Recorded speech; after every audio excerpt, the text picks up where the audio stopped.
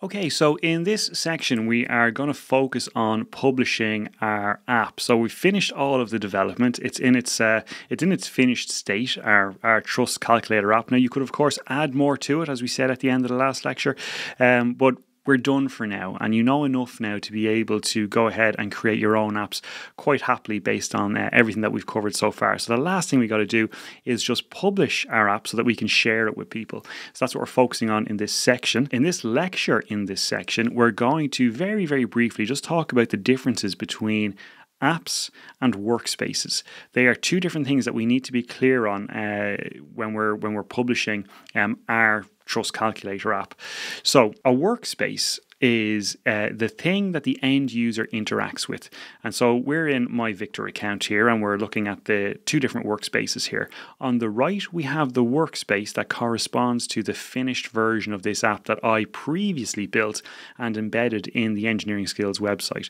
So if you were on the Engineering Skills website and you were interacting with the, the the app there, the Truss Calculator app, this is what you are interacting with. You are, act- you are actually interacting with a workspace, okay? And the workspace is developed or built from an app. Okay, so we have the app is the underlying entity which collects together all of the code, the logic, and it is an app that we publish our code to from our GitHub code space. So that's the underlying entity. And then when we want to share a usable version of that app with somebody, we generate a workspace from it. And it's the workspace that we share. We can embed it in a website or we can give somebody a link to go and visit the workspace and use, um, use our calculator. Uh, and so we'll talk a little bit more about it here over the next couple of minutes. But the VIKTOR documentation actually does a good job of explaining and articulating the differences between apps apps and workspaces. And so I've linked to the documentation in the text lecture that goes along with this video lecture on engineering skills.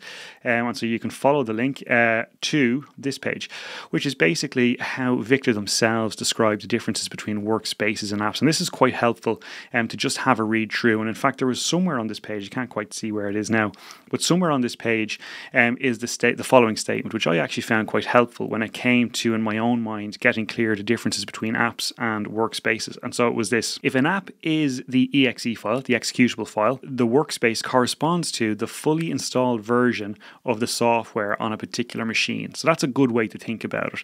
It's a good proxy for uh, the, the, the concept of an app and a workspace. Okay, so if those are the workspaces in my VIKTOR account, again, this one corresponding to the finished version of the app I've already built. And then we have on the left hand side, we have a development workspace. This is the one we've been interacting with. Uh, again, in your VIKTOR account, you'll just have the development workspace. Um, that's the development uh, workspace we've been interacting with as we've been building our app. So we could launch this and we could see the app that we've been building up until this point. Or we could launch this guy, hit open here, and we'd open up the finished version of the app that you've seen on the uh, Engineering Skills website. So that's workspaces. And I know I've been referring to them as apps because it's just like ingrained at this point in my mind of, of you know, in being in the, the, the iPhone ecosystem, I have an image in my mind of what an app is. It's slightly different to what um, VIKTOR are referring to an app as here. So you kind of have to relearn the terminology, right? So they're workspaces, right? They're the things that users interact with. Okay, the workspace, this one for example, is on the right hand side here. This is developed and built from an app, right? Now, if I go and see my apps in my account, we've got a single app. I only have one app at the minute, and that's the app that is used to generate that workspace, the finished version of the Truss Calculator on the on the Engineering Skills website. So this is an app. And an app can be used to create a workspace. You can see here, I can click this button here and create a workspace from this app. Now, I've already done it, and you've already seen it on the other page, um, but that's basically how it works. So that's the that's the basic idea, right? The, the workflow is this: we create an app in our VIKTOR environment here in our dashboard. We create an app. We then publish our code to that app. Okay, that's the next thing, right? So then we have an app with code that has been published to it from our GitHub code space. Grant. That brings us to this point right here. Then, once we're there, we can create a workspace based on that app, and that will get us to this point here where we actually have a workspace and that's the thing that we can share with anybody who wants to use our calculator. Okay, so that's the basic idea. Um, again, if you're a little bit confused about what apps are versus workspaces, that's perfectly okay. It took me a while to wrap my head around it too.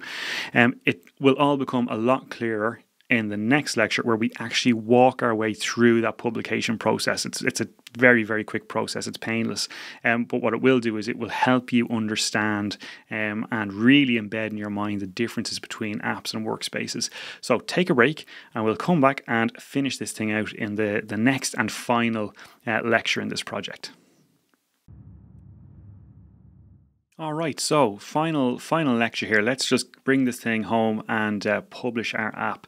So we're going to do three things. It's a three step process, right? I kind of outlined it already in the previous uh, in the previous lecture. We're going to create an app in our VIKTOR account in our dashboard here. In fact, let's jump over to uh, our app store here. Um, right, so we're going to create an app in two seconds. We're then going to jump back over to our code space and we're going to publish our code to that app then we'll jump back over here and then we will create a workspace from that app and that workspace is the thing we'll be able to share. And at that point we'll be done. You'll have a you'll have covered the complete creation and publication workflow uh, within the VIKTOR environment. So right let's just uh, let's crack on here. So the first thing as i say i'm going to do is create an app. To do that we just hit the create app button here in the top right hand corner and that launches the app creation wizard. And so we can put in some information here. So we'll start off with a title. So i've just added a very basic title here and a basic description if you're creating an app that you want to share with people um, you're probably going to want to provide a bit more information, like putting in a long description and adding images and so on and so forth. But I'm going to rattle through this pretty quickly because it's all fairly self explanatory stuff. So we needed a title and we needed a description. I'm going to skip the long description. Uh, we can add labels. So we can add some of these. Uh, VIKTOR have already populated a list of labels, so we could add labels to this. Uh, so let me see what would make sense as a label. I wonder, do we have? Structural, we do. Okay, so we'll we'll tag it with structural. Hit next. We could add some images. Um, obviously, on the finished version of the app that I created, I added some images um, and uh, like basically around the engineering skills branding. For now, I won't bother, but you could add whatever images you like here. We'll hit next on this. And next up, we have maintainers. And so, as it says here, a maintainer uh, is somebody who can publish new versions of the app. Now, I'm the only one operating in this account, and so it's pre-populated uh, the uh, the maintainers field with my email, which is fine. We can leave that as it is. And at that point, we're ready. It gives us a bit of a summary here. We've got the name of our app, we have the description we've provided, and obviously we've left the image blank. But we can just have a quick overview here of everything, make sure it's all okay, and hit create. And there we have it. We now have an app. This is basically a blank container, right? This is, there's nothing in that app at the minute. It's just a container that we can now publish our code to. Uh, so that brings us on to step two. And so we can jump back over to our GitHub code space where we're going to publish our code to this app. Okay, so here we are back over in the code space. What I can do, first of all, my app is running at the minute. The development version of my app is running. So I'm going to uh, cancel that and just stop it from running with uh, Command C. So now we can do a couple of things. The first thing I want to do is I want to see all of the apps. You don't have to do this, but it's kind of helpful to be able to see all of the apps that are available in my VIKTOR account, right? So I'm going to type in VIKTOR CLI and then just apps. All right, and there, let me just can drop that down and let me see, pull this up a little bit. And in fact, let me collapse that down as well. All right, so what are we seeing here down at the bottom? We can see the different apps, right? So we have one app here, which is actually the finished version of the app that you've seen in my account. And we've got um, a tag and some additional information. And more, more, more importantly, we've got the status is published. We have another version of the app you didn't see in the account because I archived it just to keep things simple. But that is uh, that was also a previous version of the app that I built as well. Actually, that's the version of the app I built while I was writing all of the lectures that are associated with this uh, with this project. Um, but again, it's archived, so you don't see it. That's why it doesn't appear um, but it is still a, it's still attached to my account. And then we have the one we've just created, and this is the version of the app that I've been building as I've been recording these videos, right? So this is the version of the app. This is an empty app container. Look, it's been created but not published. We haven't published any code to that app yet, so that's what we're going to publish um, our code to next. So in order to do that, we can basically hit VIKTOR or type in VIKTOR CLI publish. Now, VIKTOR CLI and publish. And that's going to kick off another bit of a wizard and it asks us which app do we want to publish our code to. And so we can just cycle down through these. Obviously, I want to publish to the top one here, tutorial truss analysis. So we'll hit enter. And so we can basically just accept the defaults here and rattle on down through this process. Do I want to continue? Yes. So just yes, yes, yes. And at this point, we've kicked off the publication process. So VIKTOR is going to do its thing now. It could take a few minutes, depending on the size of your app. Um, but VIKTOR's doing all the work in the background, basically, which is taking our code and publishing it to that empty app container that we created. So we're just going to leave this for a minute, could be five minutes. I can't remember how long this takes, but we'll leave it and I'll come back when this is done um, and we'll pick up the process from there. Okay, so now we can see the publication process has finished. It only took a couple of minutes.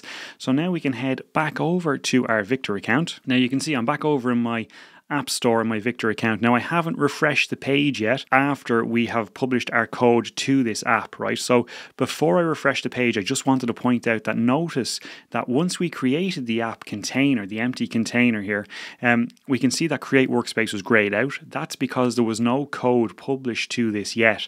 Uh, and now, once I refresh the page, it will reflect the fact that code has been published to this app, and we'll be able to create a workspace from that. Uh, and in fact, before I do that, that, let's head back over here and just rerun the command uh, VIKTOR CLI apps and we'll see sure enough that the truss, the tutorial truss analysis app is now published. Okay, so we've published code to it. Right, so heading back over to our app store, refresh the page, and we now have the option to create a workspace from this app. Okay, so this app is the underlying entity that uh, all of our, our workspaces are, are built from or are developed from for this particular calculator. So for example, we can click on details here and we can see that we can look at the we can look at the version history for this app and we can look at the details and we can edit the, the details for this app. Now, obviously the details are very bare bones at the minute, but if I go back and I look at the details of the app that we've previously published, you can see that we've got some um, metadata here, we've got a description, and I could go in and edit these as well if I wanted to. So going back again to the app that we just published, the last step now is to create a workspace. So if I click create workspace, we'll see that we have the workspace creation wizard opening up.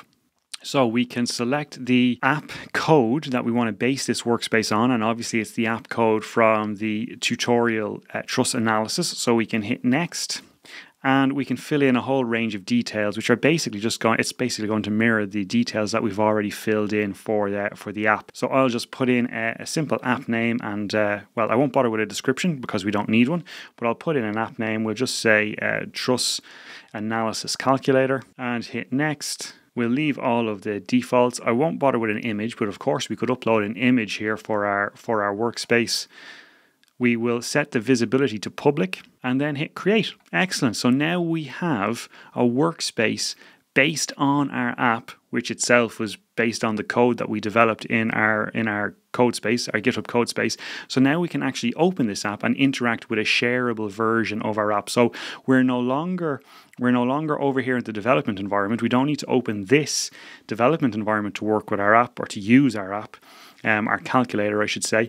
Um, instead, we're going to open up the public version of it. So let's hit that next. And there we have it. So we now have a working version of our app that we can, I keep saying our app, a working version of our calculator, uh, which we can now share with the world, right? So what, what we could, well, we've seen how it works, so we won't go through how it works again. But if we hit share here, we can share a link to this guy, uh, or we could embed it uh, as an iframe in a, in a website, for example, share it on Facebook, LinkedIn, etc. Um, so there you have it. You've covered the full uh, the full gamut. In, in fact, let's actually copy this link and paste it into an incognito browser window just to just to show you that once you share this with someone, you don't have to be logged. You don't have to be logged into your VIKTOR account. So I'll just spin up an incognito window here, paste in our link.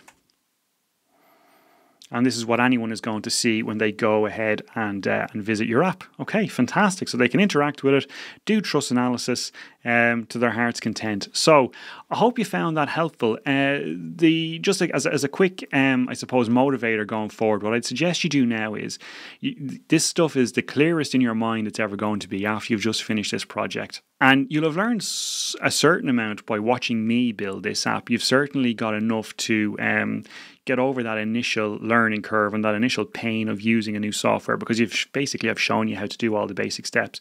But to really get good at using this platform um, to build apps, what you now need to do is go and build an app yourself. Build your own app, either start with this one and modify it or enhance it in some way or just you know pick pick a calculation that you do as an engineer on a regular basis um, and build an app around it because in that way you're going to really embed a lot of the things that you've we've touched on here.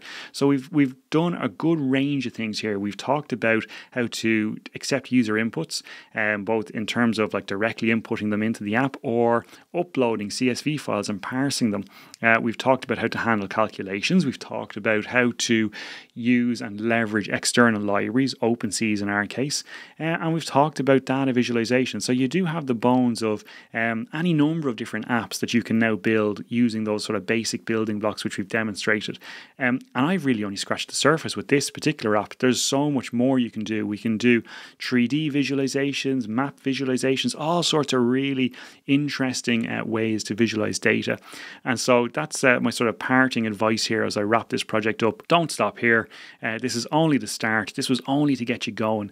Now, what you want to do is pick something and go and build an app around it, and then share it with people. Um, because I can, I can already see there's a huge amount of utility in um, using a platform like this. I, as you know, I'm a huge fan of Jupyter notebooks. That's my sort of my home environment where I build things. But sharing a Jupyter notebook um, can be tricky. As I said at the very, very start of this project, there's a bit of a barrier to entry for users uh, using a Jupyter notebook.